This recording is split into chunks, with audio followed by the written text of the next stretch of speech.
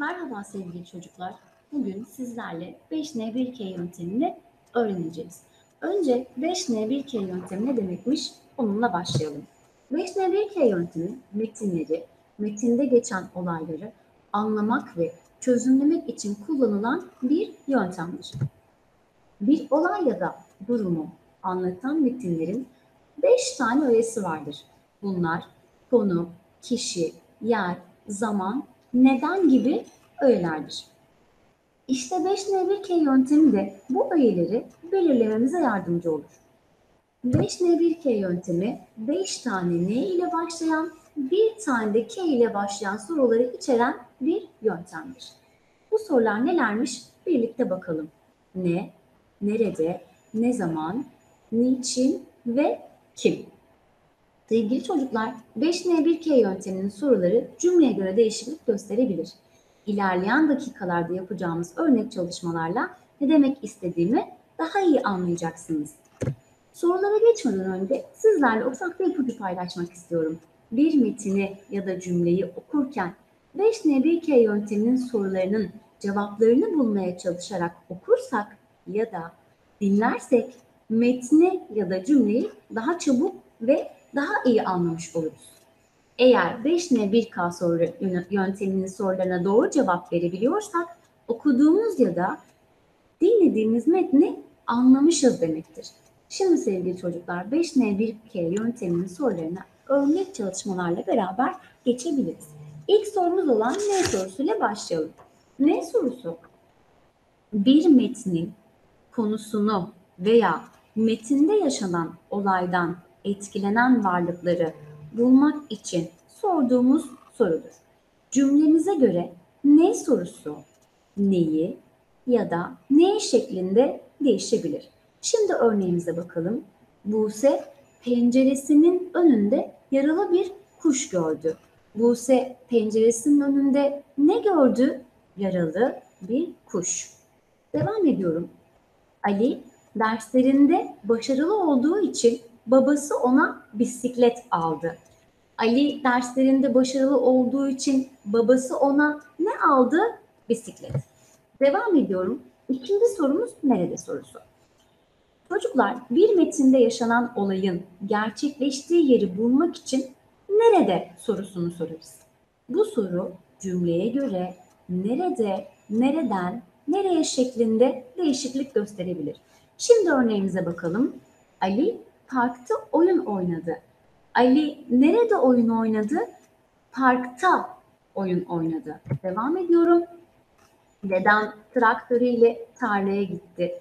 Dedem traktörüyle nereye gitti? Tarlaya gitti.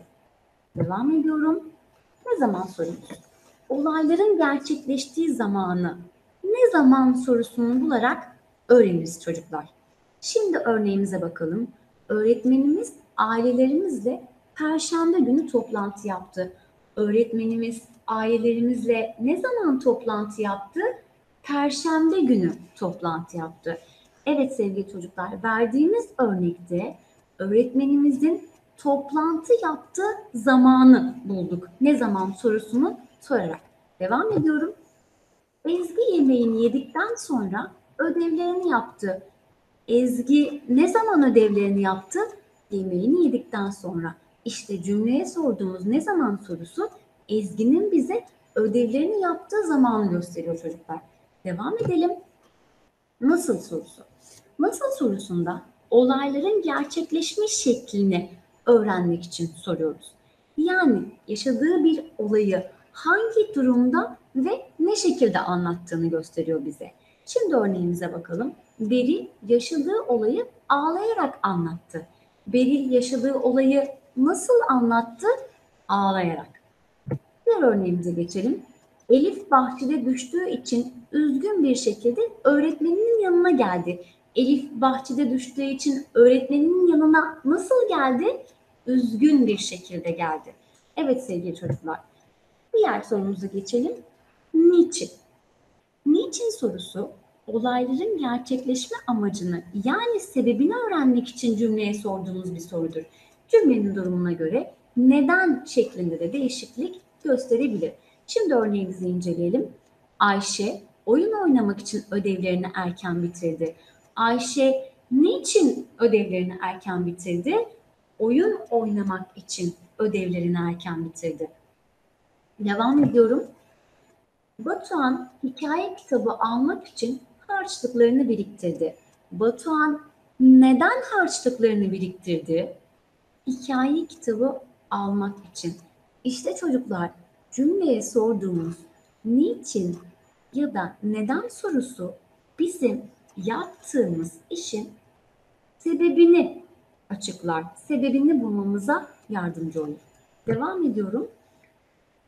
Kim sorusu. En son kim sorusuna geldik. Olayları gerçekleştiren veya olaydan etkilenen kişiyi yani olayın kahramanını bulmak istiyorsak cümleye ya da okuduğumuz metne kim sorusunu soruyoruz. Cümleye göre kim sorusu kime, kimde, kimden şeklinde değişiklik gösterebilir. Şimdi örneklerimizi inceleyelim.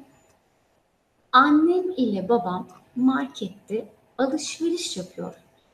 Kim markette alışveriş yapıyor ya da markette alışveriş yapan kim? Annem ile babam. İkinci örneğimize bakalım. Sezin arkadaşlarıyla kardan adam yaptı. Kim arkadaşlarıyla kardan adam yaptı? Sezin. Ya da arkadaşlarıyla kardan adam yapan kim? Sezin. Çocuklar siz de kendiniz farklı örnekler kurup sorularınızın cevabını bulabilirsiniz. Tekrar görüşmek üzere. Hoşçakalın.